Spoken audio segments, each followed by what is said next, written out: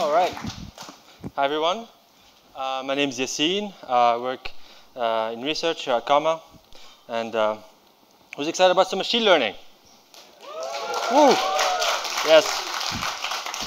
I heard that I haven't started presenting yet, and I already have some questions. So I guess I'll answer them later. Don't forget. So uh, today I'm going to talk to you about our progress in learning a driving simulator. Um, so it's been a few months of, of, of this project, and uh, we have some exciting results, and I would like to talk to you about them.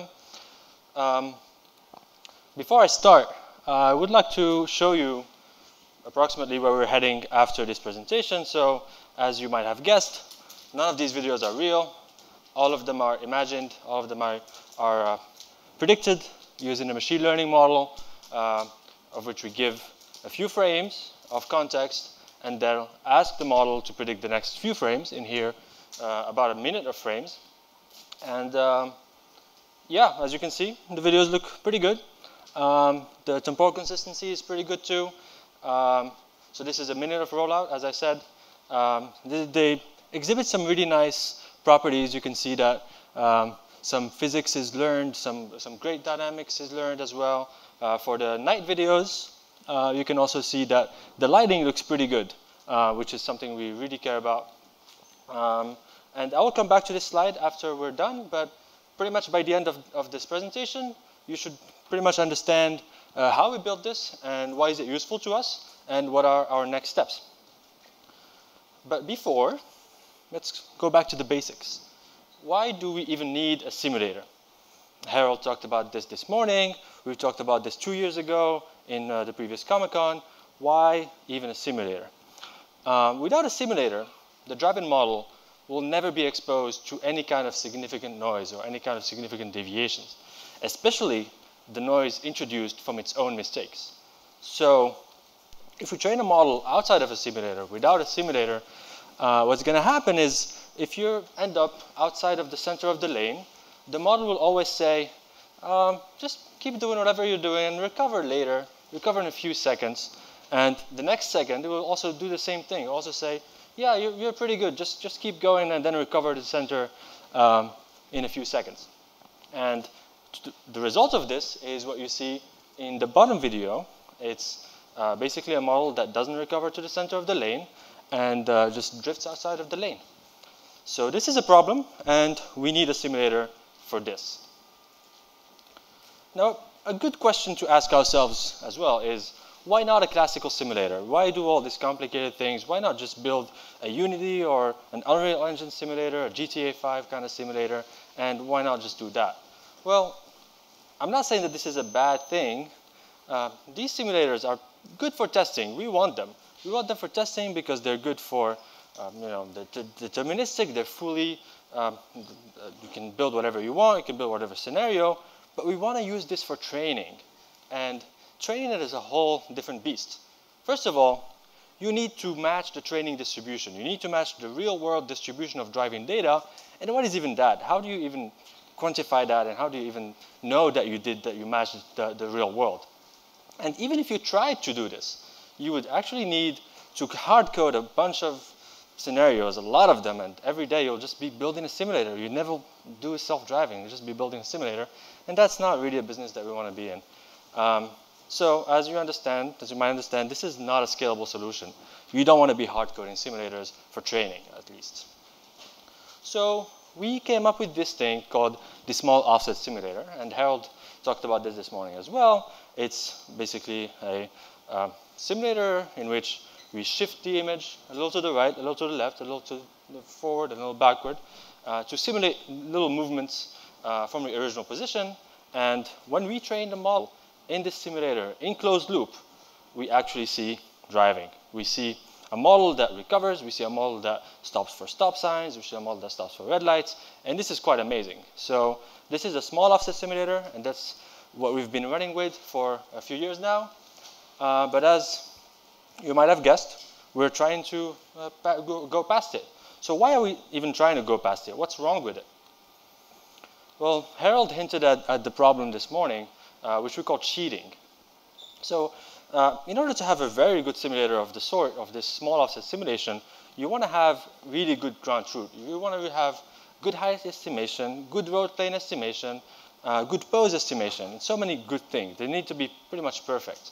Uh, and the problem is, as soon as you start to get some imperfection, some error, uh, you will have um, simulator artifacts. And those artifacts um, can tell the model which way, which way you came from or how to, how to drive, basically. So the model will learn how to drive just by looking at the artifacts instead of learning how to drive like a normal human being.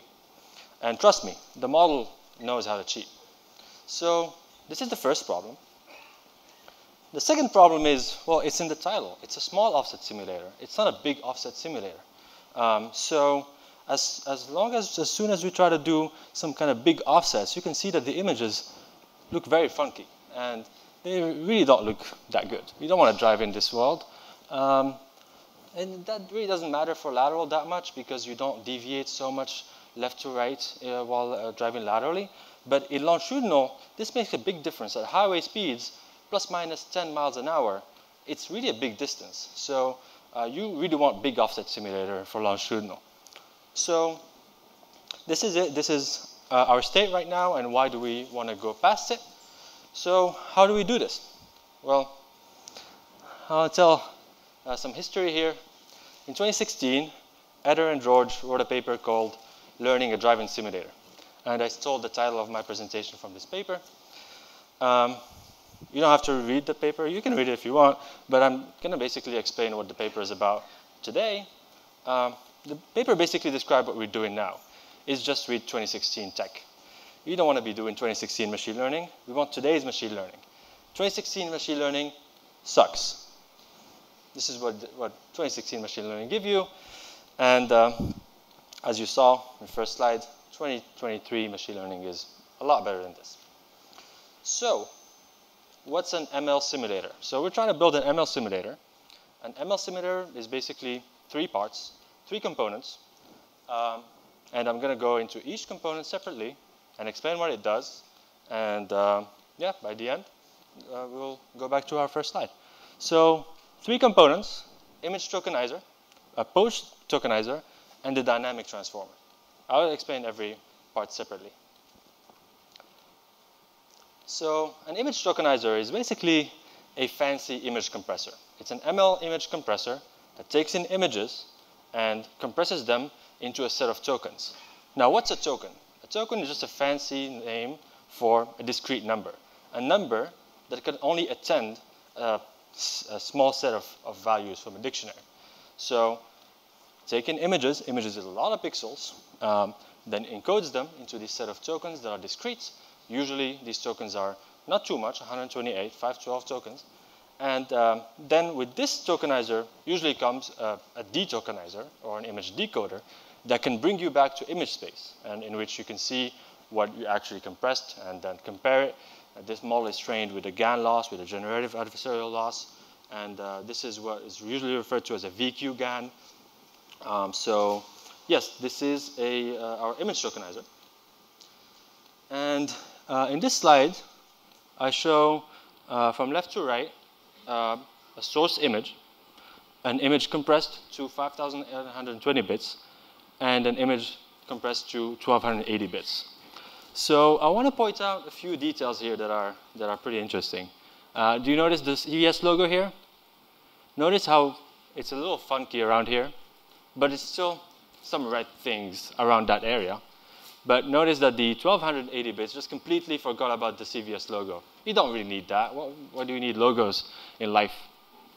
Um, you can also notice that the building uh, a little at the distance here looks okay for the 512 for the 5100 for 5120 bit, bits image, but the 1280 image uh, looks pretty funky. Uh, the traffic light also looks a little funky. Um, so yeah, these are completely classical compression artifacts that we get here. Um, so the image, this image is, there's a lot happening. There's a traffic light, there's a logo, there's buildings. Uh, so it's a complex image. For a pretty classic highway driving image, you really can't see the difference. This looks really similar to me. And um, so for highway driving, um, either 512 or 1200 that really doesn't make that much difference. And in order to iterate fast, so we, we want to iterate fast, and we know we can improve the quality of our simulation by just scaling up the number of bits. In order to iterate fast, do some good experimentation, we're working now with this, with this model.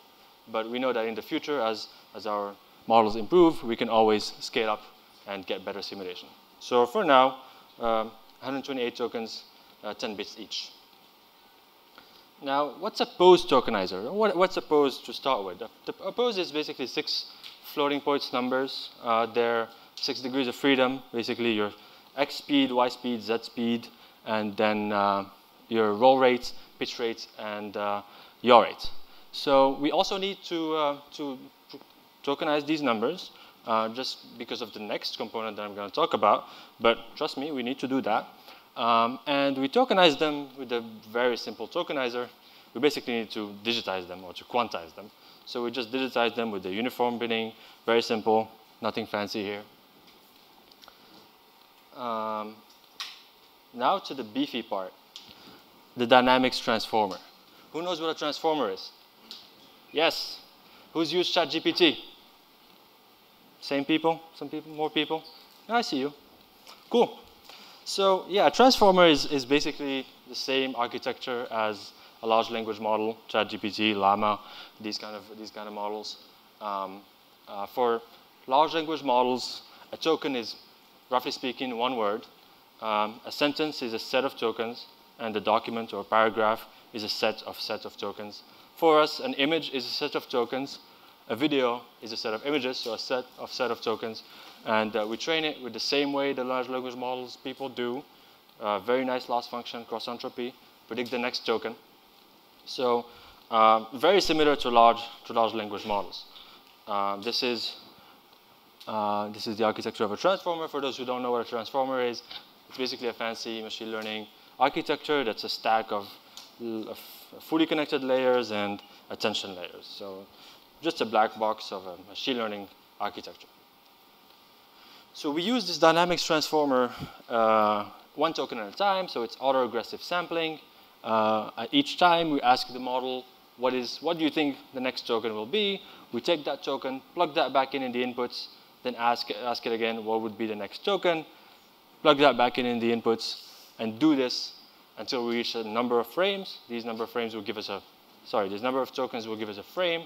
We take that and then do this as many times as we want until we reach whatever number of frames we want. So this is what people usually refer to as autoregressive sampling. Um, autoregressive sampling. So predicting each uh, token at a time. So in theory, doing this is really powerful because um, you could cover the whole distribution of your training set. Um, so you could cover the, the whole distribution of possible rollouts given um, given a context, given a few frames. Uh, this could imagine any type of futures, which is really desirable because you don't want to restrict whatever happened next, whatever the driving model that will be trained in this simulator, you don't want to restrict it to something specific. You want it to be as general as possible, and this is really desirable. We tried a few things um, to uh, speed up this autoregressive sampling, so it's a little slow. We're trying to speed it up. We tried something like uh, diffusion-like sampling, uh, some uh, fancy techniques with MaskGIT and, and, things like that. But we didn't really um, succeed at anything like that. But we'll keep trying, and uh, um, something will, will work. And we basically want to speed up the autoregressive sampling, which is a little slow. So we do all this, and it works. This is our uh, dynamics model. This is our simulator. So in here, we just show it, we just tell it to drive straight. And as you can see, drive straight. Um, it's a pretty nice highway drive, uh, straight driving. But we can also ask it to do some things like yank the steering wheel to the right. Turn right as much as you want. And as you can see, turns right, changes lanes, even goes out of the road, even drives on the grass. That's pretty impressive. I guess some people did that in the, tra in the training set. Who did that? You can also tell it to turn left, cross the median, drive, in, drive to the opposite lane, even get close to oncoming traffic. Who did that? That's okay. I don't want to know. You can also tell it to accelerate. So notice the uh, lane lines, it passes the traffic, uh, it passes some traffic. So as you can see, there's some acceleration happening in this, in this rollout. You can also set it to brake. So again, notice the lane lines, they will slow down. Um, so as you can see, successfully brakes. And as a side note, we open sourced all this. We open sourced a data set of 100,000 minutes of driving, tokenized. So these are all tokenized with the tokenizer that I've showed before. We open sourced the image tokenizer and the image decoder, and we also open sourced a transformer that's very similar to the one I'm showing you today, and that can generate rollouts that look like the one that I showed you today. Um, we also have two $1,000 bounties, so if anyone uh, feels, um, feels like a weekend project, uh, we want to decrease inference latency. We want to make this model run fast. Today they run at 2 FPS, so we want to run them really fast. Uh, so if you improve the training latency, the inference latency by 50%, you get $1,000. And if you decrease training loss by 5%, you also get $1,000. So if anyone wants a weekend project, really fun. Another side note, um, so I've been showing you all these images that went back to image space. So these videos that look good, it's always good that we can go back to image space and debug these dynamics, these dynamics models and see what happens. But in order to train a driving model, we actually don't need to go back to vision space. You don't need to go back to the image space. You can, you can train the model directly on the tokens, which is interesting. So these images are compressed to these tokens, and the to these tokens have everything you need to know to drive, which is pretty cool. So instead of having like a convolutional neural network that takes in an image and predicts the plan and predicts the lane lines and, and such, um, now you have a transformer and then you have uh, a plan and the lane line and all that. And as you can see here, um, it works. It predicts the lane lines, predicts the plan, uh, predicts some reasonable outputs. So you don't need, we don't technically need to go back to vision space in order to train a model. We can directly train it on tokens, which is pretty nice. Another side note is that you've noticed that the images are a little flickery. So they jump a little bit, the clouds jump a little bit, the cars jump a little bit. So, and we're aware of that. We know that our, our encoder is not smooth, and that's because our encoder is frame by frame. There's no temporal consistency because there's no nothing that's trained temporally. Um, so we want to fix that uh, then there's multiple ways you can fix this. We really want to have a tokenizer that's video-based, that's not image-based. What we're doing now is uh, a little naive. You don't want to do this frame by frame. You really want to do it for a set of frames to get some more some more quantization. You can get more compression if you compress multiple frames. But uh, there's a technique that people have been trying, and we tried that as well, is to have a, uh, to uh, just uh, freeze everything and then put a recurrent layer in your decoder which essentially gives the, the decoder uh, like a state that get passed from frame to frame, and the decoder can use that uh, to smooth the rollout. So as you can see here, in the left is the raw rollout, and uh, to the right is the smooth rollout, so much more, much, much, much smoother. So this works. Um, another side note is, okay, how do we use this to train? How why and what's, what's the, what was missing for us to use this to train, um, we need a new loss function. And why do we need a new loss function? Uh, well, for sufficiently long rollouts, um, the simulator is going to imagine things that were never in the context, right? It's, it's going to imagine traffic lights, it's going to imagine turns, it's going to imagine curves on the highway. And these are going to be very far from the context because we don't condition on anything. We just tell the model to imagine something.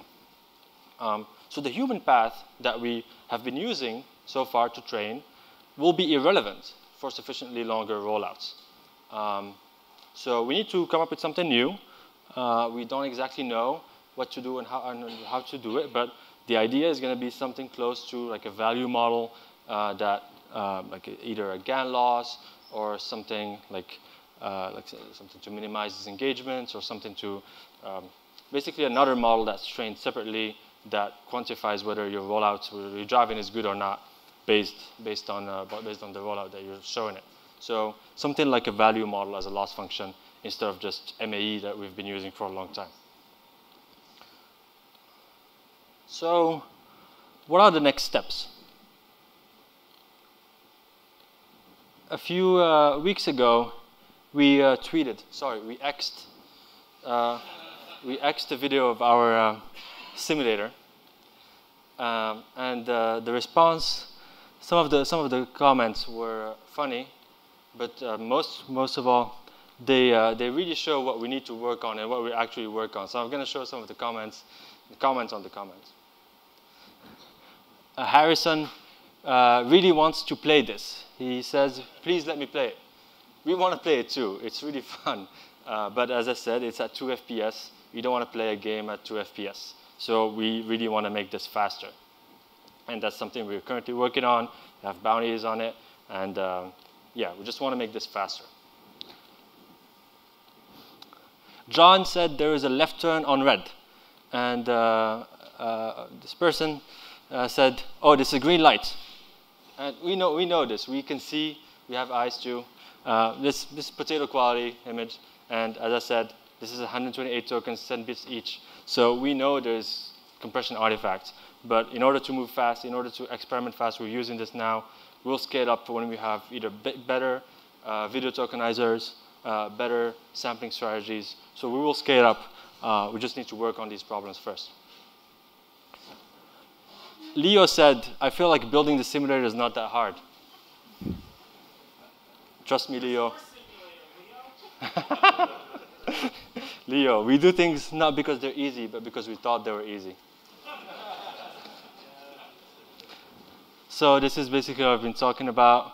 Uh, the autoregressive sampling, using, yeah, using actually using the models, scaling the bits and scaling the transformer as well and uh, we need better video tokenizers.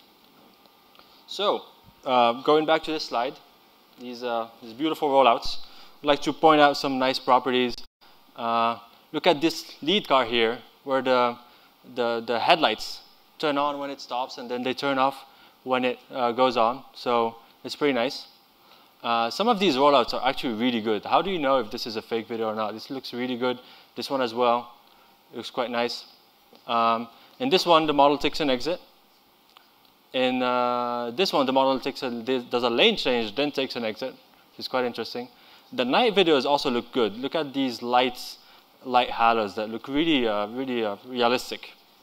Um, again, fancy buildings, weird, weird-looking buildings, as, I uh, as I've shown in the, the, tokenizer slide, and this is really because the tokenizer is terrible. Um, but yeah, you can see the building move, like it's a really good physics understanding. Uh, the prompt of this image had the cables. Some, some people don't hide the cables from uh, in front of the cameras, which is not a big problem, but you can see that the cable stays there, um, pretty consistent in the frames. Uh, this one here, it's a snowy road, and the snow persists uh, after the rollout. So the snow is still there at the end of the rollout, which is really interesting. Uh, in this one, the model just want to stop and uh, takes a picture, I guess, of, of, uh, of the surrounding. I don't know, maybe a mountain road or something. Um, so, yeah, this is, this is it. This is Drive GPT.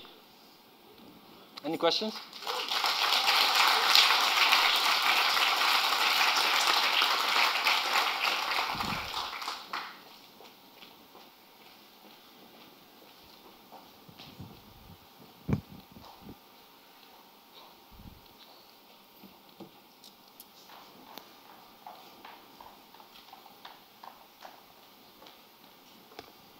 You see, we know there's lots of questions. Oh, yeah, I forgot. Should we start with those? Who are the people who had the two you've seen questions before? Over here. All right, start back here. So you mentioned that you can get like an initial image and then you can also say that move straight or like move right. So are you conditioning on language at all, like the, the tokens? Um, Okay, so we don't condition conditional language. Uh, uh, I was talking about the pose, which is the six numbers.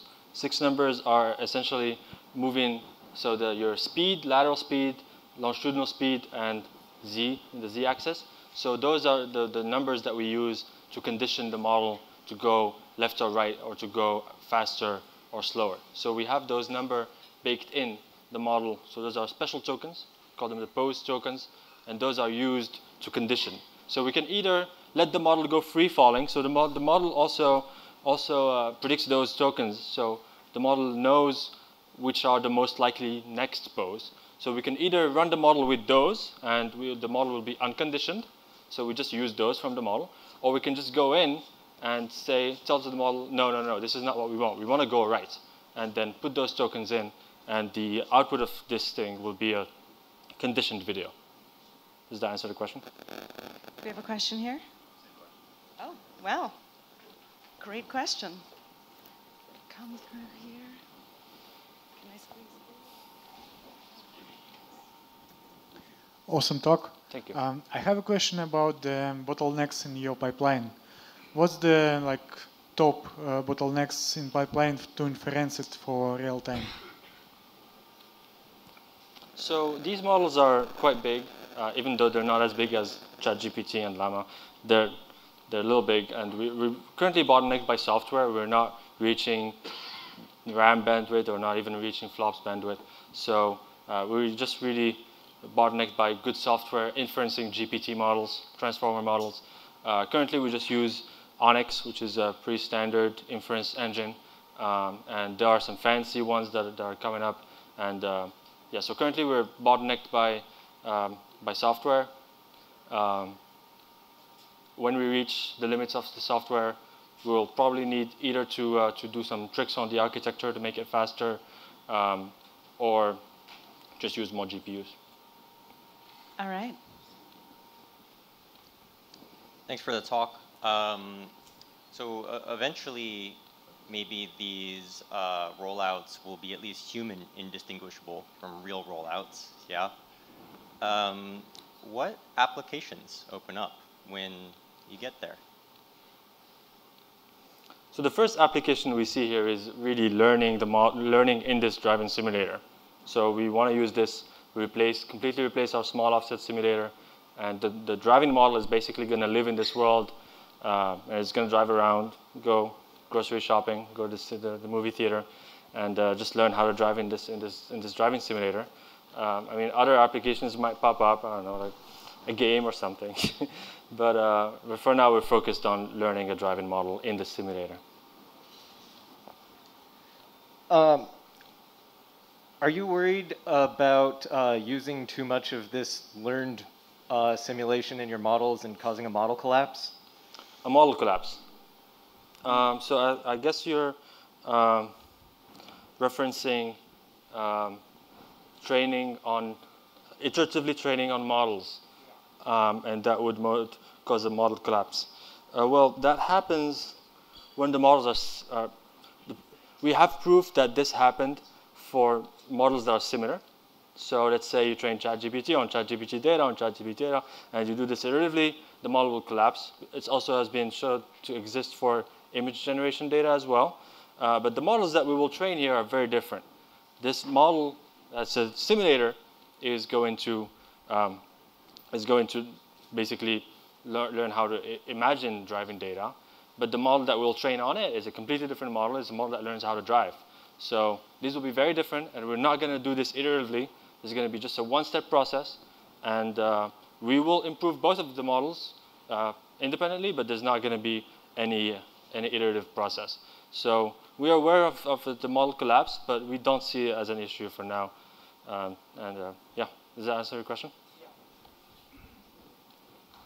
I have two questions. One, do you consider use mask autoencoder that can compress about 90% uh, of the image? And the second one is, you talk about a video encoder. If you use a video encoder, then forward to the uh, transformer model, it should be output also a video as well. Is that correct? Mm -hmm. Yeah, so your first question was about masked autoencoders, and that's what I was referring to as masked-git or similar approaches to train uh, image tokenizers uh, and such. Uh, we tried, um, it didn't really work that well. Um, but yeah, it didn't really work that well. What worked well is the cleanest solution. The most obvious one worked well. We tried to go fancier and it didn't work. So I guess there's something to learn here. Uh, then your next question was, uh, can you repeat your next question? I forgot. Uh, if you have a video encoder, that means if you put this audio encoder, the code to the transformer, hmm Okay. if you go to the forward, it should be general. every token is a video. Mhm. Is that correct? Uh, so what, what I've uh, was referring to as a, vid, as a video decoder is something close to like an I and P frame uh, kind of tokenizer. So some different types of tokenizer. One, would- one would be like a like a general I frame, and then a P frame that's a smaller set of tokens or smaller num- basically more compression in the diff frames. So this is what I was referring to as a video a video encoder.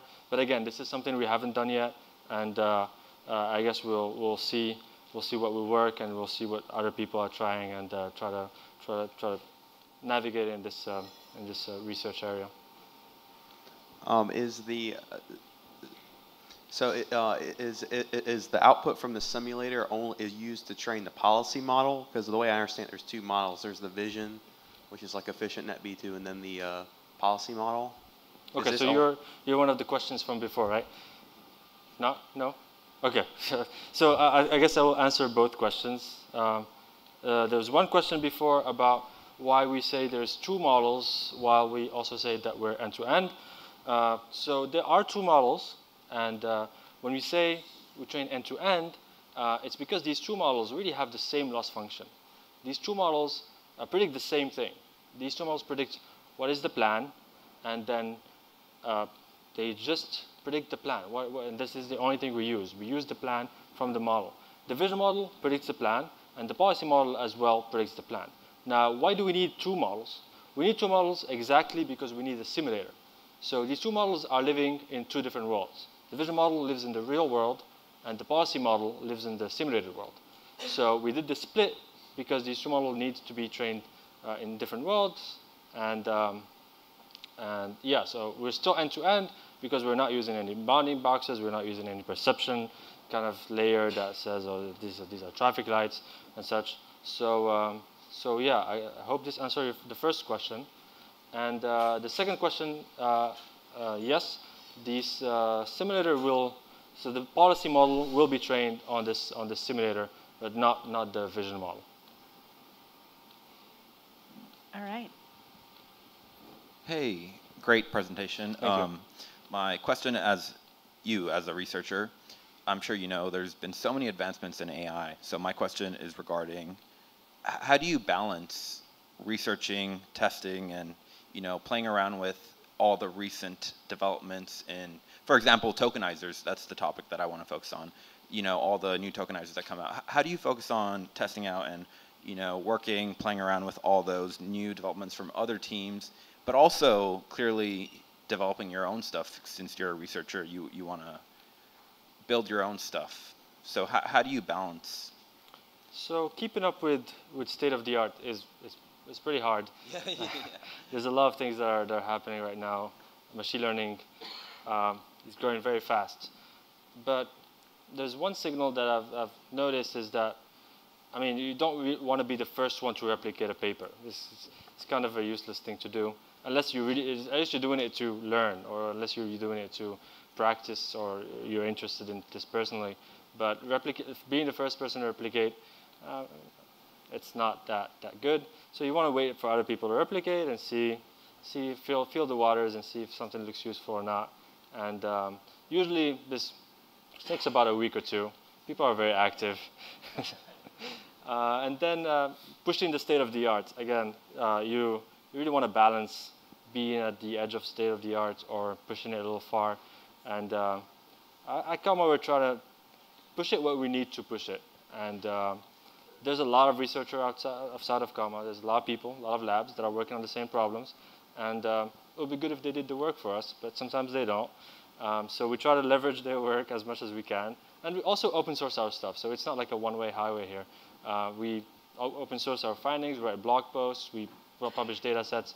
So when we see the need to push the state of the art, we do it, and then we share with people. It's not, it's um, yeah, it's just a little line that we need to balance, but uh, but so far worked great. Uh, my question is, where do the model names come from? What do Nicki Minaj and Nicolas Cage have to do with driving? Great question. I, I don't know if I'm allowed to say. Am I allowed to say? Let's see, a trade secret. We sorry. don't have a lot of secrets, but Trade secret. we're Sorry. gonna, we're gonna keep these. Uh, I had some questions about just the tokenizer aspect in general. Like, what motivates to stick to like these discrete tokens I'm sorry, instead say- of I'm sorry, repeat? Can you What's the motivation between sticking to like this discrete token representation versus um, like maybe a more regressive, like doing regression? Is that just because like cross entropy loss is so simple and nice, or is there something else? And then a couple more questions about the tokens. Is there like some position dependency on those? Have you tried looking at like the interpret, like have you tried interpreting what token 95 means, for example? Oh yeah, great questions. So we tokenize because cross entropy is the best loss function. Uh, everyone knows that. Whatever else is um, just a scam. Doesn't work. uh, but yeah, cross entropy is the best loss function. It's really simple. Uh, it's um, yeah. I, I can talk a lot about why cross entropy is, is good, but it's not really the the talk today. Um, your next question question was about interpreting the tokens. So these are like visual tokens. So you can you can like feed an image of just token one one one one one one, and then see what the decoder says. And uh, these will be like basically colors or basic uh, basic um, um, the patterns or you know zigzags and stuff like that, edges and things like that. So these are visual patterns, and they have they do have positional information. Um, and uh, the transformer has a posi- positional encoding as most transformers. Uh, I heard that we don't really need these positional encodings, but we still have it. Uh, but yeah, they have. We can interpret them. We can see what each token looks like. We can see if our tokenizer is efficient or not. We can see if like all token all, all the tokens have been utilized, and all tokens mean different things. So you can somewhat interpret these tokens, and they have positional information as well. Uh, say driving is very different around the world. Uh, I was wondering if you looked into conditioning on geolocation. Uh, that's a good. Uh, that's a good question. Uh, there's multiple ways we can condition these things. We can condition them on weather. We can condition them on, on geolocation. We can condition them on type of car and so and so on. Uh, we don't even want to go in this detail. We just want to build the most general simulator possible. If someone wants to condition them on on uh, on country, look, the dataset is open source. Uh, they can they can condition them on, on, on countries and, and look at data from uh, Venezuela or from Uganda or anything. So um, yeah, we just want to build the most general simulator. We want to condition it on the least possible things. Thanks for the talk. Um, I was curious. I know Harald mentioned the long-term goal of Comma being um, from going from just cars to broader areas like robotics. So I was wondering, first of all, if you plan to use the same like GPT style simulator, and just how you think it scales to something like robotics, where you have more degrees of freedom and maybe a different like distribution of output spaces. Yeah, great question. This is one of the main motivators of using this simulator is that it can scale to any type of robotics problem. Um, it has more, more degrees of freedom, but um, we use the very simple pose tokenizers, which is np.digitize. If you have more degrees of freedom, you just use a more fancy tokenizer for that. Um, this really scales to any type of of, of, of, of robotics problem you wanna you wanna do. And as you can see, most recent robotics uh, fancy looking solutions now use something that looks like this. Um, so uh, we're really excited about how we can extend this to uh, something outside of driving as well. Hey, thank you. So yeah, kind of related. So uh, I'm thinking about uh, this scenario. Say uh, this is for uh, this is for the input for the driving model, right? So right now, I'm saying, okay, I want to drive from A and to B, for example. Please give me, uh, please give me the scenario of driving to the nearest Taco Bell. But this is a language, right? I'm just curious why we don't put language as the, you know, uh, the first input and uh, generate the, you know, actually the driving uh, video scenarios. Yeah, we don't really need language. Um, I mean, we can condition anything with floats, with floating points numbers. Um, language is very inefficient. Um, why not use something that has a lot more bits than, uh, than words? Um, we can condition it on text. Some people are doing it. Um, we, we, we really can do it. You can just uh, connect this to an LLM, connect this to Llama 7b, and then put the, put the text and get the embedding and then plug it back into the GPT. That's something we can do. Uh, we haven't been doing this. Uh, I mean, th these are really cool demos, right? They, they're cool for papers. They're, they're fun things to do. Uh, we've really been trying to, to make something as general as possible. And um, yeah, again, if someone wants to do this really easy, um, just uh, you know, plug it back with the Llama 2 and see what happens. It's a, could be a cool project. We got one last question here in the back. Cool. Um, could you speak a little bit more about the temporal consistency aspects? In particular, I mean, the, the training data is temporally consistent, so kind of what's the intuition behind why the predictive model is unable, like has some flickering, and why it's not able to learn temporal consistency, and then what are the core ideas between, like, I know you had a slide on it, but I didn't quite understand the, the core ideas that enable the loss of flickering. Okay, so let me go back to it. It's, it's, it's going to be white, uh, light mode. Um, so why does the model not predict smooth video uh, on its own? Uh, well, because the data is not smooth. The data it's trained on is tokenized frame by frame. So the data that the model is, is, uh, is trained on isn't good. It's fl it flickers. So even the ground truth data of this model flickers. Um, and it flickers because the tokenizer is frame by frame. It doesn't have any temporal memory. It doesn't have any smoothness to it. It's just frame by it just it just it flickers. And I mean, a good question would be why does it flicker? Why, does it not predict smooth? And it flickers because just compression, right? We're, we're asking this model to really compress this really hard.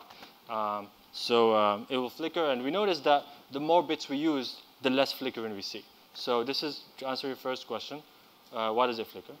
Then uh, the smoothing decoder basically is just sticking an RNN layer, just sticking a layer that has a memory, and uh, at each step, we share that memory to the next step. And then uh, doing this, we, uh, we have like a running state. And doing so, the decoder has more information now and knows how to smooth. Um, the decoder didn't have that information before, didn't know what happened a second ago, didn't know what happened a frame ago, so it couldn't even smooth. Now it can smooth, and uh, as you can see, uh, it works. Does that answer your question? Okay. All right, give it up for Yassine. Thank you.